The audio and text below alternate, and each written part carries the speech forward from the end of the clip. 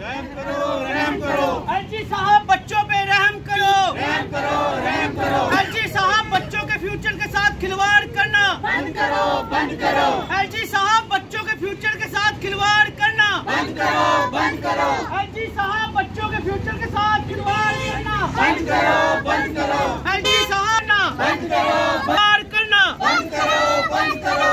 LG साहब जागो नींद से जागो। एलजी साहब नींद से जागो। एलजी साहब शर्म करो।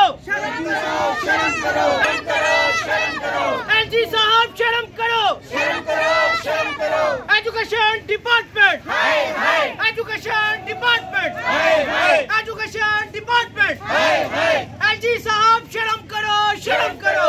शर्म करो एलजी साहब शर्म करो। शर्म करो शर्म करो एलजी साहब नींद से जागो। नींद से जागो नींद से जागो। ऐसा कि आप सब जानते हैं कि कितने प्रोटेस्ट भूख हड़ताल हंगर स्ट्राइक पे भी लोग बैठे। लेकिन ये गुंगी बहरी सरकार, एलजी प्रशासन, इनके कान में जू तक नहीं रेंग रही।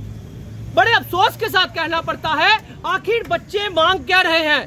ये छोटे छोटे नन्हे नन्हे मुन्ने बच्चे क्या मांग रहे हैं? आप बात करते हो, बेटी बचाओ, बेटी पढ़ाओ। तो ये बेटियाँ पढ़ा रहे हैं आप।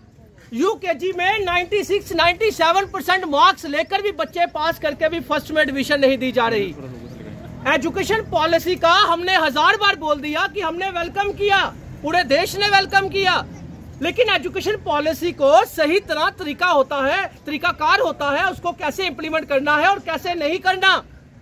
मैं एलजी साहब को पूछना चाहता हूँ, क्या गोवा के लोग अलग हैं? क्या हरियाणा के लोग अलग हैं? मेरठ के लोग अलग हैं, केरला के लोग अलग हैं। जब वो लोग वो लोग इस चीज़ को समझ सकते हैं, अपने देश के, अपने स्टेट के बच्चों को संभाल रख सकते हैं तो एलजी साहब, आप हमारे जम्मू कश्मीर के एलजी हैं।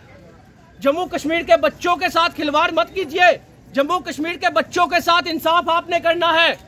जिस तरह गोवा में पॉलिसी इंप्लीमेंट हुई है, उसी तरह जम्मू कश्मीर में की जाए और यू के जी क्लास में जो पाँच बच्चे पास हुए हैं, उन्होंने, उनको फ़र्स्ट क्लास में एडमिशन दी जाए, चाहे वो पाँच साल के हैं, चाहे वो साढ़े पाँच साल के हैं, आप एक तरीके से इंप्लीमेंट कीजिए फ़र्स्ट क्लास वाली जो पॉलिसी है, उसको 2026 में इंप्लीमेंट कीजिए, और नर्सरी का तो आपने तीन साल का क्राइटेरिया लास्ट ईयर इंप्लीमेंट कर दिया, ताकि जो इनरोल में बच्चे हैं, उनको परेशानी ना आए।